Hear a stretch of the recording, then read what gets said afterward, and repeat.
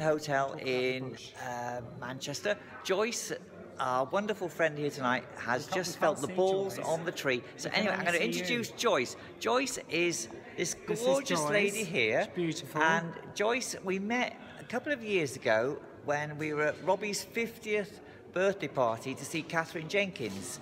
And Joyce has seen Katherine Jenkins for many, many years, and she's always gone to the meet and greets, as do we. So, Joy, Joy, we love Joyce, don't we, Joyce? Oh, we We do. love you, don't we we, do. Joyce? And Joyce has so much history. Um, Oh, don't tell she, her. I know she does have amazing history, Joyce. Um, For a she, 45-year-old Was it one of the first gay bars in Manchester you used to run? Pardon? Was it one of the first gay bars in Manchester? Gay bars in Manchester you ran? Oh, no, it was in Ashton. Ashton. Gaslight. Ashton, yeah. Gaslight in Ashton. Ga- the gaslight. So, and Joyce is now 90. You're 90? Oh, don't tell everyone no, that. but you, you She's- can't she's see she's 65. 90. She's 65, aren't you, Joyce? I'm 90. She is 90. And a half.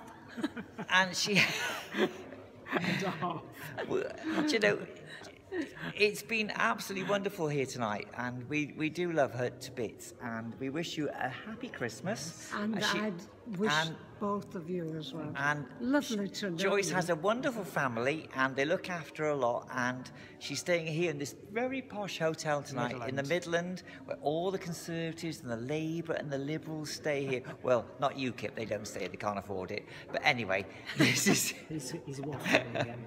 So we just love, we do love Joyce, and this is a special message from us to say Happy Christmas, Joyce. The Happy gay world. Christmas Yes. to both of you. And, you. You've and done we. You we love done a lot Joyce tremendously. community. Happy Christmas, Joyce. Happy Christmas. Happy Christmas. Happy Good- Christmas.